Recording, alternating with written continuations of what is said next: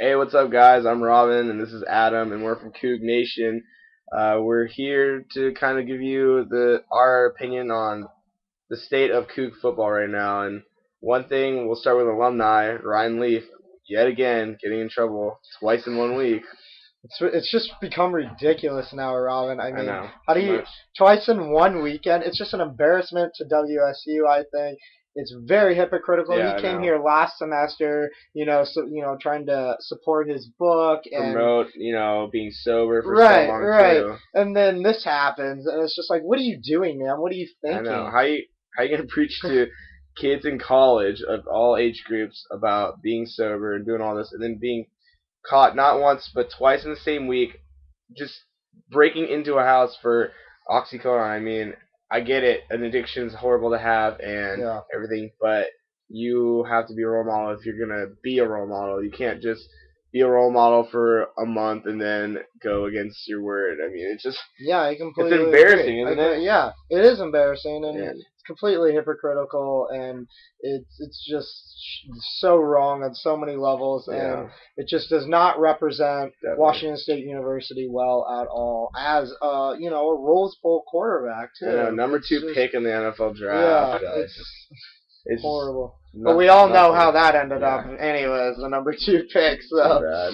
But um, we'll move on to something you know more Mike Leach because that's what we've been all talking about on campus. So yes, recently he was asked about Connor Halliday's health.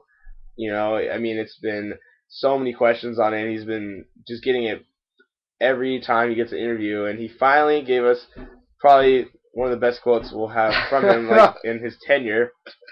So, referring Oh, to his God. his injury is any stuff on that is so closely guarded. I don't know if you saw Harry Potter, but in the basement of this building, it's guarded by serpents and wild dogs and things like that. You can go to find the secret to that, but chances of survival always a risk. What does that even mean, Robert? Like he's trying to relate Yeah, an injury to I- Harry I Potter. How how does he one even relate that? And to and to end it all, he goes, heck, it took until movie five before he got it done himself, and he had magic powers. I don't know what he's talking about. I this It- has nothing to do with anything. It's just Mike Leach being Mike Leach. Deflecting it's a question, famous- yeah.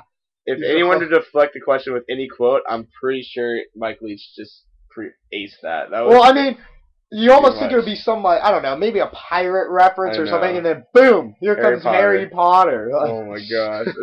I mean, hey, that's what we expected from Mike Leach. Not the most char- charismatic guy, but he'll give you quotes. I mean, he's a he's one character, you know, like, as I like to put it. Yeah, hopefully he'll give us these memorable Yeah. quotes in the future. They're very fun, especially for the fans. Yeah, to- definitely. I mean, I obviously they're up, they're but quirky and help goofy, but yeah, when I first when I first read that and saw that quote, I was just just that was just unbelievable. I couldn't believe Yeah. what what he was saying. It just, yeah, I mean, um, I think that Mike Leach will give us a bunch of wins and a lot of quotes uh, for years to come. So I'm excited for Cougar football.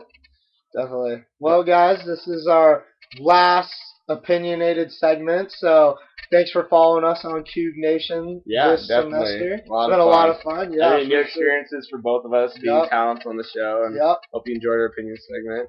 Uh, leave comments, follow us on Twitter, yep, uh, talk to us about Cougar Sports anytime because we'd love to. yep. All right, Have see a you guys. good one, guys. Later.